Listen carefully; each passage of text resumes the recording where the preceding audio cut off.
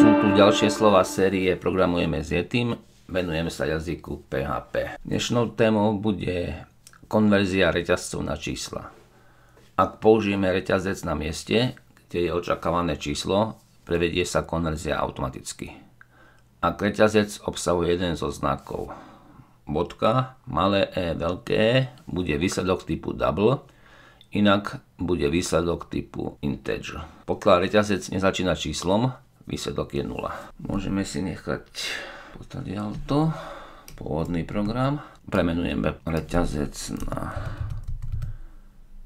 premennú a najskôr vyskúšame, čo sa stane, keď budeme chcieť sčítať jednotku s reťazcom 13,5. Nie s číslom, ale s reťazcom. Pretože to číslo je v zátvorke. Dáme si tú premennú zobraziť a ešte skôr si dáme zobraziť jej typ.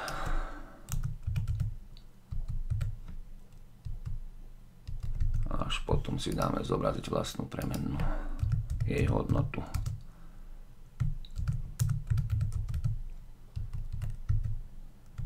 Typ premenné je double a výsledok 14,5. Operátor plus funguje inak v JavaScripte, kde sa premení jednotka na reťazec. Takže výsledkom by bolo 113.5.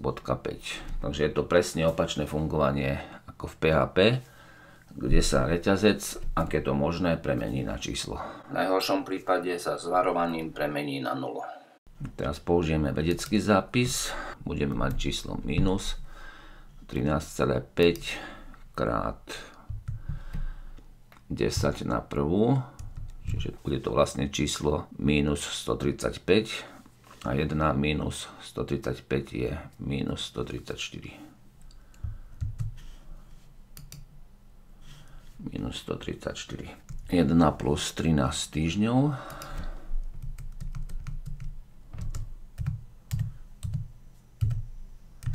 znamená, v tej premennej nie je ani bodka, ani ečko, ani veľké ečko, tak výsledok bude celé číslo.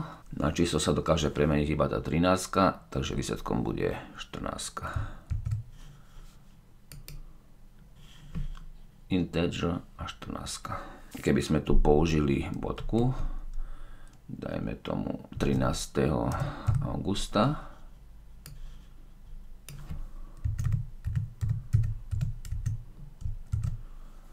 tak vtedy sa to premení na double, ale výsledok je stále 14. 1 plus 13 je 14. Keby sme najskôr dali reťazec a až potom niečo, čo sa dá skonvertovať na číslo, napríklad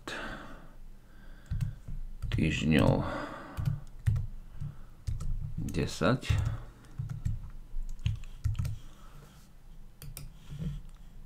tak tu dostávame celé číslo, výsledok je 1. 1 plus 0. Z tohto reťazca vznikne 0. Končím túto krátku lekciu, kde sme sa venovali konverzii reťazca na číslo.